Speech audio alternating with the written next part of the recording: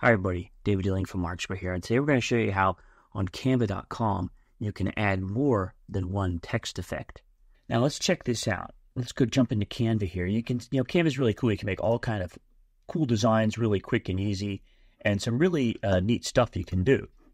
You can do even do multi-page things, etc. But let's say you want to add, we want to add an effect, and let's say we want to make it outlined.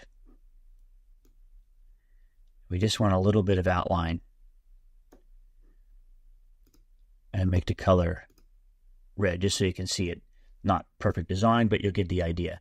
So now we have that that effect. Now, uh, you know, you can move around, do whatever you want to do. But if you go back to that text box, you can't add two effects.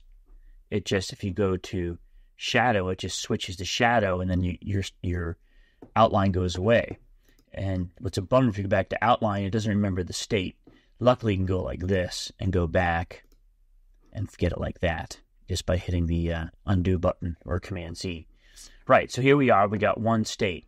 How can we duplicate that? How can we make a second a second set of effects on the same series of texts? Well, you just um, click out, click again on your text box, Command C, and then Command V on the Mac, and I get a duplicate or copy and paste. So I get a duplicate of this text. And now what I can do, particularly if I zoom in here,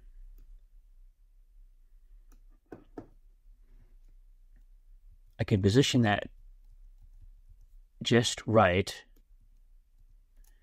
something like that. I can go to positioning. I can go backward, backward, and there we go. Now I can go up to effects. I can change from outline to shadow, for instance. And I can change the shadow to black. I can now make that as big as I want it. A little bit of adjusting, you can get that effect. So now I've added two effects to the text box with that little workaround is by duplicating the text box and being creative, you know, being creative in the way you position it. So that's a little trick to get your Canva files to give two effects to any text box. Same could apply to images, but that's a lot more trickier, of course.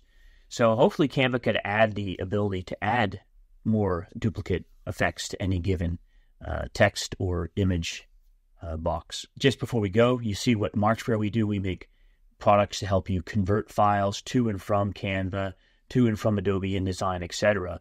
And in this uh, case, we can go and use our ConvertMarkz. And if we click on ConvertMarkz, which is an app inside of Canva, we can actually export this design right to Adobe InDesign. And that might be needed in some cases where you want to add three or four text effects or you need to do more professional things to your documents. That's where professional designers can get Canva work from their clients, or even sometimes I've heard many designers creating in Canva itself, but at a certain point need to get an InDesign either for their boss or for their client or whatever it might be. And you can now do that with Markzware with a few clicks. You can get right into our ConvertMarkz, which leads you to Markz Portal, which will then give you another preview of that file and allow you to convert that right into Adobe InDesign. Download that, and there you go. We have a new thing pre-flighting of your Canva files right in Markz Portal. So you can now click with a couple clicks, get a full pre-flight report on your Canva file and make sure that the resolution's okay and everything's fine for professional printing.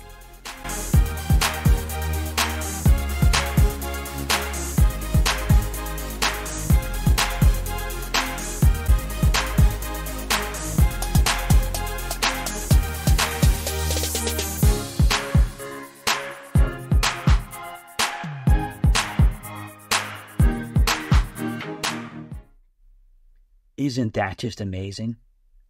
Check it out today over on markzware.com, or more specifically in Canva, search for ConvertMarkz, or just go to markzportal.markzware.com. All right, everybody, David Dilling from Markzware wishing you a fantastic day. Take care.